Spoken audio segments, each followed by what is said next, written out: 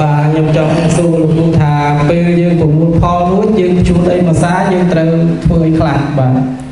តាមពិតទៅបើសិនឲ្យវាចំនៃលក្ខណៈបច្ចេកទេសគឺយើងត្រូវតែបាចកវោហើយជួបាក់ចោលបាទបាទអញ្ចឹងកវោយើងត្រូវប្រើមើលដីដែលយើងមិនទាន់មានបញ្ហាធ្ងន់ធ្ងរនៃអាលិអាលួយដែលជ្រាបឆ្នាំទៅមិញដែលយើងដកមកទេយើងប្រើតែ 2B ទេវាស្មើនឹង100គីឡូ ប៉ុន្តែបើក្តីកន្លែងដែលយើងធ្លាប់មានបញ្ហាដុះមករួញដុះមកអន់ឬក៏ជ្រុងណាមួយដែលយើងដុះមកដែលមានបញ្ហាហ្នឹងយើងអាចប្រើដល់ 4B ប៉ុន្តែបាចអាកន្លែងដែលមានបញ្ហានោះឲ្យច្រើនជាងគេបន្តិចហើយជាពិសេសកន្លែងដែលកោកាកសំណល់អាកាកសំណល់យើងកាប់ដើមកាប់អីរួចហ្នឹងណាបងយើងបាចកន្លែងហ្នឹងកុំឲ្យវាកោចេញជាពពួកកទាបាទអាហ្នឹងទី1ប៉ុន្តែបើសិនជាយើងអត់បានបាចកវោនៅពេលភ្ជួរនោះទេ អញ្ចឹងនៅពេលដែលយើងដាស់ដីឬក៏យើងវាយម្ដងទៀតនេះអាយើងគេហៅទៅសាម្ដងទៀតនេះអញ្ចឹងបងយកកវោលាយជាមួយនឹងជីបាចតែម្ដងទៅអញ្ចឹងកវោដដែល អាចជា 2B ឬក៏ 4B អញ្ចឹងជីរបស់យើងសម្រាប់ដីនៅស្រុកយើងជាពិសេសខេត្តកាចេះយើងនេះធ្វើម៉េចឲ្យបាន 4B យ៉ាងទាបបំផុតពីព្រោះដីនៅយើងនេះគឺយើងប្រៀបធៀបដីនៅខាងបាត់ដំបងយើងរៀងខ្សោយជាងគេអញ្ចឹងវាបាត់បង់ថាមពលនឹងអាសរីរាង្គចិញ្ចឹមនោះវារៀងគេហៅថាដីរៀងអន់ជាងគេអញ្ចឹងយើងត្រូវការជីធម្មជាតិហ្នឹងយ៉ាងទាបបំផុតគឺ 4B អ្នកដែលមានលទ្ធភាពគឺ 6B ចឹងបាចតែម្ដងទេអត់មានបាចច្រើនដងបាចជាមួយកវោទៅភ្ជួរគុំរងដាំទៅឬក៏ភ្ជួរអត់គុំរងក៏អត់ទៅប៉ុន្តែកាប់ដាំទៅយល់ទេបងណា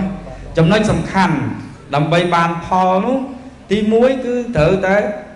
ជំរុញនៃការឲ្យដលងយើងវាដុះអញ្ចឹងមានន័យថាដើមមកបងត្រូវកាប់យ៉ាងទៀងបំផុតបើអត់លុយណាក៏បានមួយទឹកកន្លះដែរ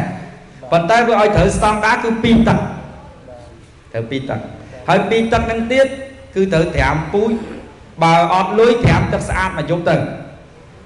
ហេនិយាយដល់អត់លុយទៀតណាបើមានលុយត្រាំជាមួយជីទឹក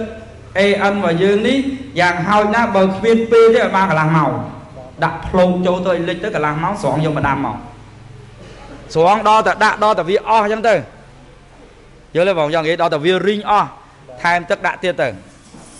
ប៉ុន្តែបើវាអត់តន់រីងទេក៏ដាក់ចូលមកត្រាំទៅប៉ុន្តែបើយើងមានពេលត្រាំហើយមកយកទល់ភ្លឺដូចគ្នាជីទឹកអីអត់មកយើងអញ្ចឹងវាជួយបដោះឬវាជួយឲ្យបានដុះល្អឬទី1 ទី2ត្រូវទប់ស្កាត់ជំងឺពពួករួញដុំមកសដុំមករួញឬក៏ហៅថាជំងឺក្រាភាសាបច្ចេកទេសគេហៅថាម៉ូស៊ូអ៊ីកអាជំងឺរួញសណាដែលអុចអុចអុចអុចក្រាលើដើមយើងហ្នឹងអញ្ចឹងគ្រាន់តែសន្លឹក2សន្លឹក3ដែលដលងអាយុមួយខែនេះបងបាញ់ណាំស្មៅក៏បាញ់តែចោះខ្ញុំអត់ខាត់ទេប៉ុន្តែបើស្មៅដុះក៏កុំបាញ់ដែរប៉ុន្តែបើស្មៅដុះបាញ់ចោះប៉ុន្តែបាញ់ឲ្យ5ថ្ងៃក្រោយមកត្រូវតែបាញ់សាជូខៀវលាងវាចោលវិញ កុំឲ្យវាកើតអាជំងឺនឹងតន់យល់ទេបងអញ្ចឹងបាញ់លាងវាមួយសាហើយបាញ់ចុងក្រោយម្ដងទៀត10ថ្ងៃក្រោយមកឬក៏5 10ថ្ងៃក្រោយមកឬក៏បើអត់មានពេលកុំឲ្យលើកពីមួយខែបងត្រូវយកជីទឹកមួយទៅជូខៀវបាញ់ម្ដងទៀតតែប៉ុណ្្នឹងទេឥឡូវខ្ញុំមានសំណួរទី1ទៀតគ្រូបាទអឺតលុងយើងដោះហើយយើងអាចបាចបានអត់លោកគ្រូលើបាទហើយអញ្ចឹងសម្រាប់ដលងដោះហើយសម្រាប់ជីក្របខ្ញុំអត់ឲ្យបាញ់ទេព្រោះជីក្រប ដាក់ដែលមានគុណភាពគាត់គឺត្រូវកប់ដីអញ្ចឹងត្រូវយកទៅធ្វើម៉េចចាំងចាំងវាមិនឲ្យបានកប់ដីប៉ុន្តែកវោអាចបាញ់បានតាមរងនឹងតិចតិចតិចតិចតិចទៅចាប់មកចាប់មកចាប់រួយរួយអត់ចាំបាច់គ្រប់គុំទេហើយក៏អត់ចាំបាច់គ្រប់រងដែរជុំឧទាហរណ៍យើងដើរចាប់មកចាប់អញ្ចឹងទៅដើរមកជាហ៊ានពីរជាហ៊ានមកចាប់ទៀតអញ្ចឹងណាបងអញ្ចឹងយើងឡងមករងទៅដាក់ មកចាប់ទៀតចាប់ចាប់ចាប់ចឹងអញ្ចឹងវាអត់ចាំបាច់គ្រប់ហងអញ្ចឹងនៅពេលដែលខែនេះមានភ្លៀងវាភ្លៀងមកវានឹងសាយភាយទៅហើយប៉ុន្តែបើសិនកន្លែងហ្នឹងវាកំពុងតែមានបញ្ហារួញត្រូវដាក់គ្រប់ហង